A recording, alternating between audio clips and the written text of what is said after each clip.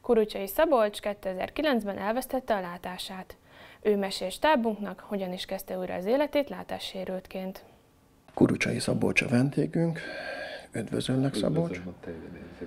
2009-ben váratlanul elvesztetted a látásodat, és mondhatni a korábbi életed gyökeresen megváltozott. Hogyan kezdted újra az életed felépítését? Hát először is hát fölépítettem újra a lelkemet és magamat, és utána elmentem Budapestre egy intézetbe, ahol rehabilitáltak, ahol nagyon-nagyon sok mindent megtanultam. Akár közlekedni, akár írni, akár számítógépet használni, akár tízújas gépelés, lehet tényleg bármi. És amikor onnét el, visszajöttem akkor azt mondtam, hogy mi hogyan kell folytatni. Hát oké, hogy tudom ezeket. Megpróbáltam egyből először elmenni iskolába, de az ember agya egyből nem áll arra rá, hogy az ember vizuális lény, te, természetes, és mondjuk könyvet vagy bármit úgy tanulsz, hogy nézed a szöveget. Hát egy vakember nem nézi a szöveget egyértelmű, hanem hallgatja. De hát az én agyam egyből nem állt arra rá, hogy hallás után tanuljak, akkor ezt a dolgot elengedtem, hogy el kell menni dolgozni. Akkor elmentem Budapestre dolgozni egy-két helyre, utána Szegeden dolgoztam, és, és azt mondtam, hogy ú, vannak lépések, vannak fokozatok, és így próbáltam felépíteni újra az életemet. Utána, utána pedig amikor elkezdtem volna az embereknek mesélni magamról, és elkezdtem volna mesélni a segítségnyújtásról, arról, hogy mindent el lehet kezdeni újra, és újra fel lehet építeni, az, hogy hogyan segít ez egy vakembernek, és akkor, akkor alakítottam egy egyesületet, és, és így kezdtem lépkedni ezen a szinten az előbb említetted, hogy akkor alakítottál mm. egyesületet, erről az egy egyesületről megtudhatunk egy kicsit Persze. többet? Persze, mert hogy előtte, mint Kulcsai Szabolcs járkáltam az iskolába tréningeket tartani, ezt értsék ugye nézők, hogy, hogy bemutatom a mesélek az életemről, mesélek a közlekedés mikéntjéről, mesélek arról, hogy hogyan főzöl, hogyan közlekedsz, hogyan gépelsz, hogy használod a telefonod, a számítógépet, tehát amiről. És a végén játszunk a gyerekekkel. És azt gondoltam, hogy idő után, már egy pár év után, hogy nem elég csak, hogy Kurucsai Szabolcs megy el, hanem legyen már ennek valami kerete. Akkor kitalakít, kitaláltam azt, hogy neked legyél számlaképes, ha éppen, éppen valahol esetleg fizetnek ezért. És ott kitaláltam egy egyesületet, hogy akkor ez, ez, pontos, ez pontosan, hát már lassan hat éves lesz januárban, és az Árbóz Egyesület névre hallgat, és azt gondoltam, hogy így hát, ha komolyabban vesznek, hát ha könnyedebb, egyébként tényleg sokkal könnyedebb, és így alakult, alakult ez az egyesület, és most már, most már nem úgy megyek el, mint Kolocsai Szabolcs, hanem úgy, mint az Árbolsz és az képviselője, és, és azért sokkal-sokkal több területre el lehet menni, és sokkal komolyabban is vesznek szerintem. Egy vállalkozás beindítása egyébként is komoly erőt kíván az embertől, de más egy olyan vállalkozás, ahol látsz példákat már működő más vállalkozóktól. Ez egy olyan vállalkozás volt számodra, amiről nem sokat tudtál. Hogy gyűjtöttél erőt ahhoz, hogy, hogy beinduljon ez a vállalkozás? Mondjuk sose voltam egy gyáva típus, meg azért előtte vállalkozó voltam, és most is próbálom a civil életből szerzett, már szerzett tapasztalataimat össze gyúrni a régi, régi vállalkozós tapasztalattal, és nem az, hogy én most bizniszbe utazom, mert azért régen, az, régen tényleg arról szólt a dolog, de viszont az ott megszerzett tapasztalataimat próbálom a civil életbe eladni, ha lehet így, így, ezt így mondani. És azt mondjuk, hogy belekezdeni, az, az nem, soha, soha nem féltem. Én nagyon sokszor ugrottam egy szintet az életembe, ha valamit csináltam, akkor a csúcson kell abadni, abba hagytam, akkor teljesen váltottam, és nem a kiégés miatt. Akkor újra váltottam, újra lehetett egy pár év, akkor újra kitaláltam, hogy akkor újra váltottam. Úgyhogy ez nem egy nagyon nagy újdonság volt nekem, hogy akkor egy egyesületet kell üzemeltetni, meg épp lehetsz egyesületi elnök, ez nem, na, nem volt annyira nehéz. Ha össze kell hasonlítani a látásod elvesztése előtti vállalkozói életed a mostani Árbóc Egyesületes vállalkozásoddal. Mi a különbség? Hát igen, először, előtte csak, hát nem azt mondom, csak a profitra utaztam, de tényleg profit orientált volt az egész. Dolgozott 10-20-30 ember nekem, mikor melyik vállalkozásról beszélünk, és fenn kellett tartani. És lehet, hogy, lehet, hogy akkor voltam csak vak igazán, mert a pénzt hajtottam. Én nem mondom, mondom hogy nem foglalkoztam a családommal, de, de azért nagyon az körül, a, körül, a pénz körül forgott az életem. Utána, amikor fenekestől felfordult, akkor újra, újra pakoltam az életemet, és rájöttem arra, hogy fontos a pénz, nem minden a pénz. Tehát az Árbóc Egyesületnek, amikor néha-néha fizetnek, akkor, akkor ott tudok örülni, mert van egy könyvelési díjad, meg van bármi, viszont, visz, viszont itt az a legfontosabb, hogy amit adsz, azt hogy fogadják, és a gyerekeknek a mosolya, mert hogy azért legtöbbet gyerekekhez járok, hát már szerintem közeledik a 70 ezer fő felé, ahol, ahány gyerekkel találkoztam én és a kutyám, és ez egy nagyon klassz dolog. Tehát a 70 ezer ember, ha fizetett volna ezért, nem is tudtam, tudom, hogy ezt hol költöttem volna el, de ha, ha én csak a pénzről beszélnék, és csak a pénz körül forognék, akkor én nem mentem volna sehova. Lehet, hogy egy pár száz ember után nem ment volna, mert csak a pénzért ezt nem is lehet csinálni szerintem. És most nem azt mondom, hogy ez akkor a hivatás, de én inkább, inkább tanítanám az embereket, meg átadnám azt, azt hogy, hogy én mit szereztem. Én, én láttam, tehát van egy emlékem, meg van egy képem a látóéletemről, most van egy olyan megvakult emlékeim, vagy van egy ilyen vakos életem, hogy nem születtem így, de hát én azt, azt szeretném elmesélni, meg azt, azt szeretném, hogy legyek példa, és, és, és, és merítsenek belőlem, és legyek, legyek hiteles, teljesen hiteles, és ne azt nézzék, hogy úristen, itt a Szabi kér 100 forintot, és gyorsan 10 percet ledarál valamit. Mert akkor már arról szólna történet csak a pénzről. Hogyha most össze tudnál találkozni a 11 néhány évvel ezelőtt önmagaddal, milyen tanácsokat adnál saját magad Hú, számára? Nem, a, ne a pénz számítson annyira. ne a pénz számítson, ne, ne, nyitott szemmel járjon, nyitott szemmel, és, és vegyen észre kis apró dolgokat is. Hát én szerintem, én most sokkal jobban szeretem most magamat, mint akkor. Érdekes ez.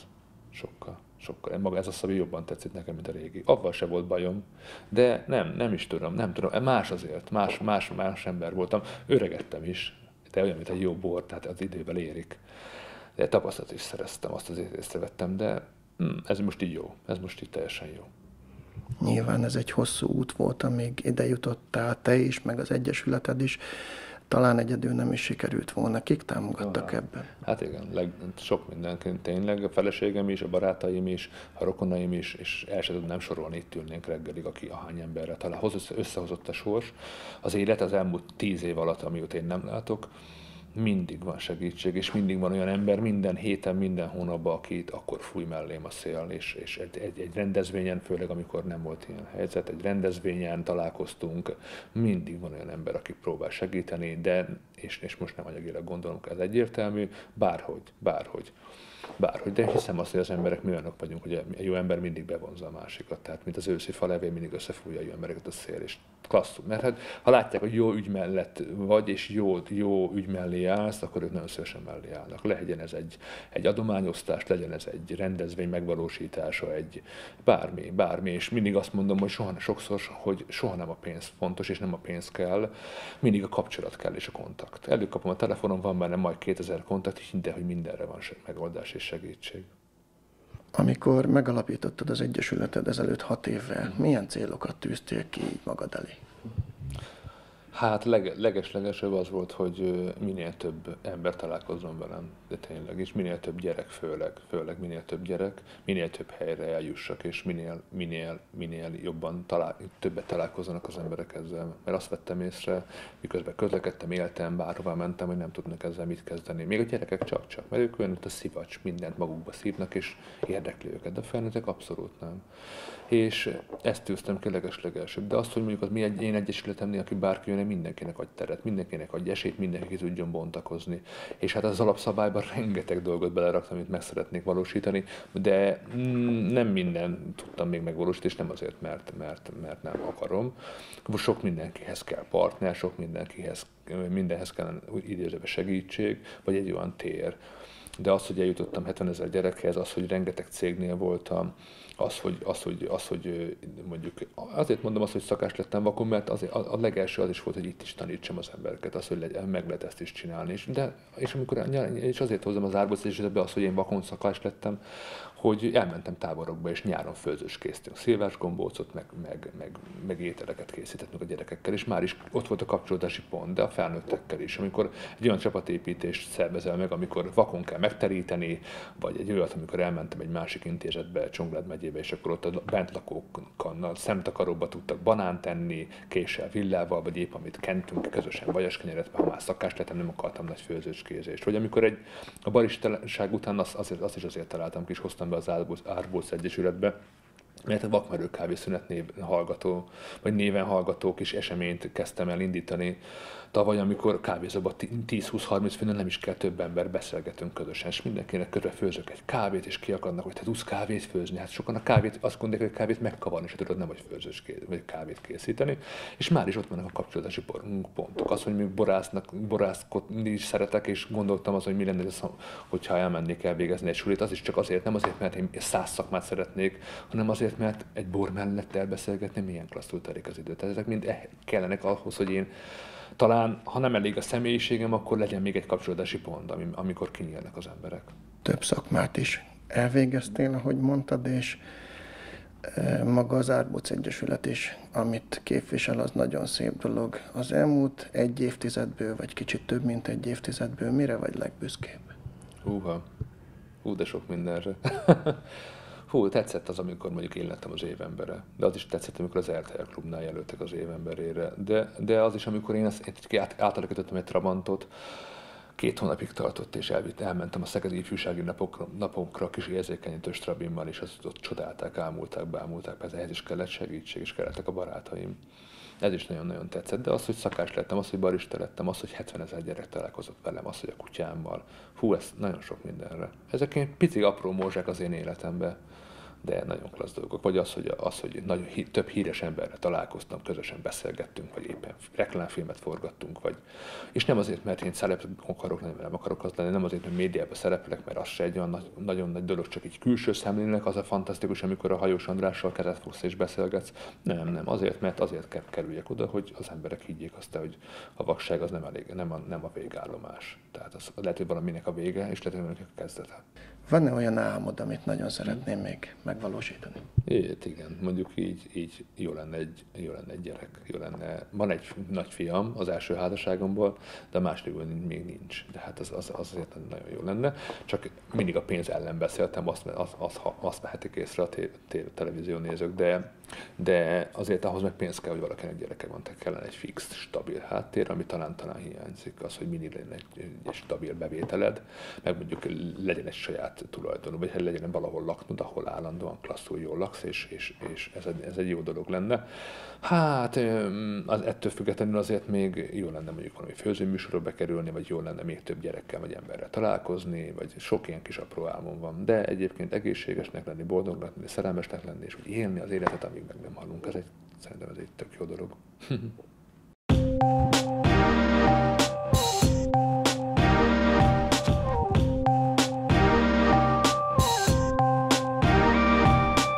Kistelki Művészeti Iskola hegedű tanszakának növendékeit tekinthetik meg a következőkben.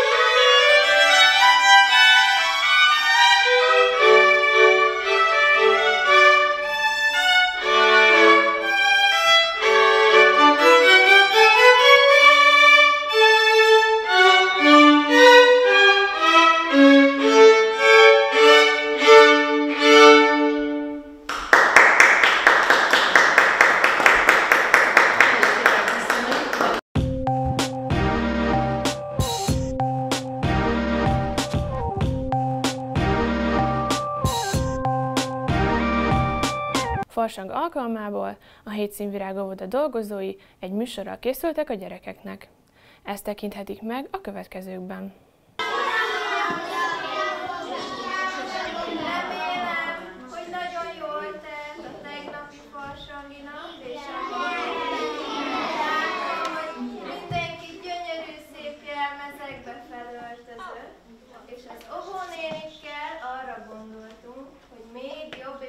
mókásabb legyen ez a nap, készültünk nektek egy mesét. Szeretnék ezt most nektek előadni. Petrolai Margit, a világ szép kecskebéka. Hol volt, hol nem volt, nem egész a világ végén, csak a falu túlsó szélén. Se nem tenger, se nem tó, hanem kacsaúztató. Ennek a kacsaúztatónak a partján állt egy öreg fűzfa. A fűzfa tövében egy nagy, varacskos kő. Ezen a kövön üldögél egy fiatal kecskebéka, és nézegette magát a kacsaúztató vizében. Jaj, de szép is vagyok. Szép lapos a fejem, két burgulas szemem, a szám majd, hogy körbe nem éri a fejemet. A hangom gyönyörű, még a fülemüle is ízli. La la la la la.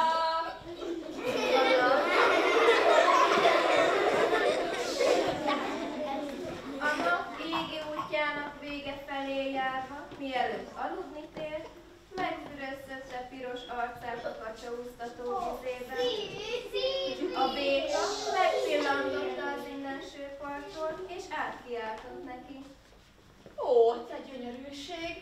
Jó estét, jó estét! Leszel a feleségem? A nap körülnézett, de nem látott senkit. Én itt nem látok senkit. Csak a hangodat hallok. Mondd meg, mi a neved? Én vagyok a világ szép kecskebéka. Szép, lapos a fejem, két burgul a szemem, a fejem majd, hogy körbe nem éri a fejem. Ugrok, mint a bolha. Szép hangomért irigyel a fülemüle is. Igen? Hát, ha nyomban megnézlek, lehet, hogy tényleg te vagy az a híres, nevezetes kecskebéka. Ha tényleg úgy ugrasz, mint a bolha, úgy ugrasz, akkor tanítsd meg az öcsémet ugrani, és akkor a feleséged leszek. Egyébként nem. Rendben. Holnap reggel jöjjön el hozzám, délig megtanítom ugrani, és vacsorára meg is tarthatjuk a lapot. Jól van, szólok neki. Lehúnyt a fényes szemeit a nap, és mély sötétség borult a világra. Másnap, korán reggel, egy nagy csigabiga ébresztette fel álmából a kecskebékát.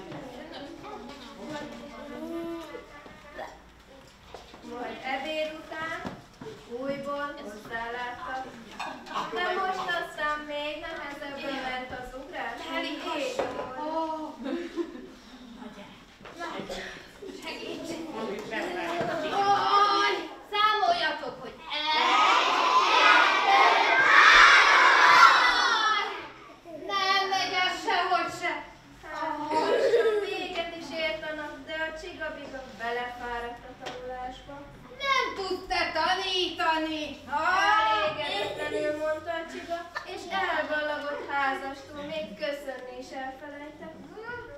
Közben a nap is aludni tért, és semmi sem lett a lakodalomból. A kecskebéka ismét kiült a baracskos kőre, és így elmérkedett magát. Istenem, de szép is vagyok, szép lapos a fejem, a két korul a szemem.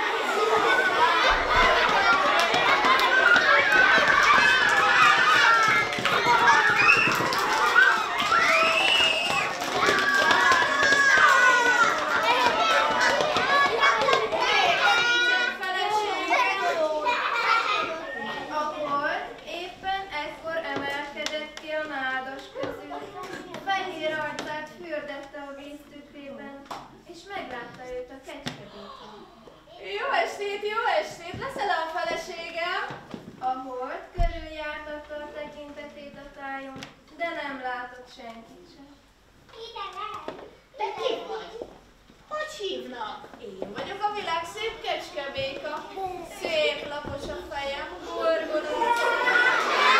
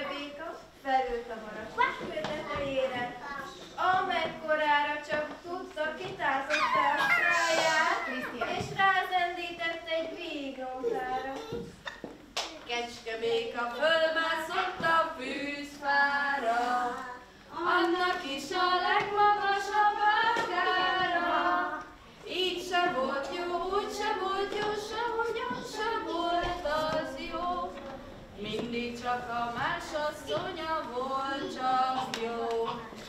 A halak tágra nyitották a szemüket, és úgy figyelték a kecskebéket. Mikor vége lett a nótának, így szólt hozzájuk a tanítómester. Láttátok, hogy hogyan kell csinálni? Jól van, jó. Borítottak a halak, még jobban kimereztették a szemüket, de a hang nem jött ki a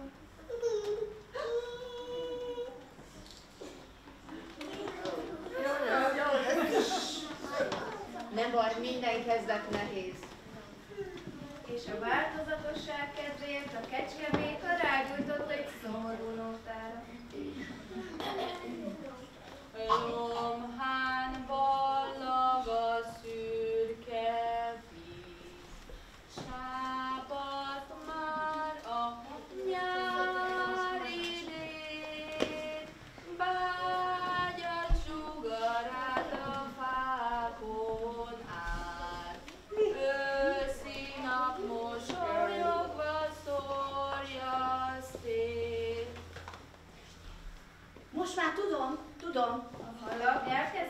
rádobni, ahogyan a mestertől láttál, de a hang az most sem akar kijönni a tortukon.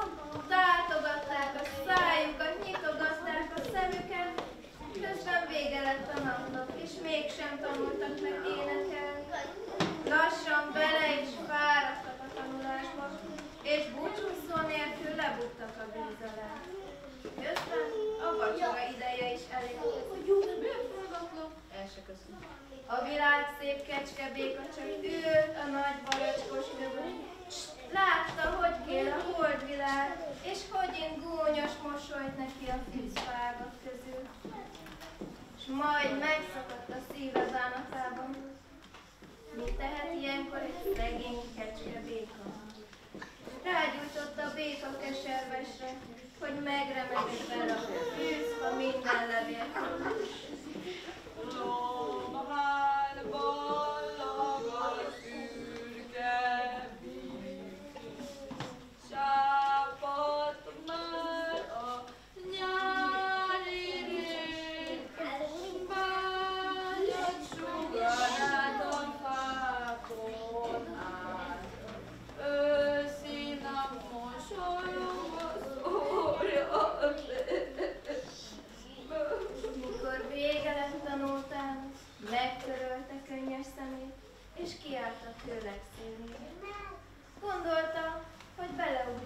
húztatóba.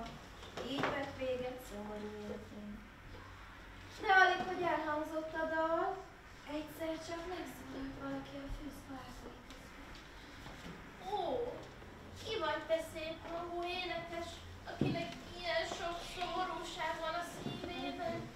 A kecske béka búbánatos szemét a fűzpár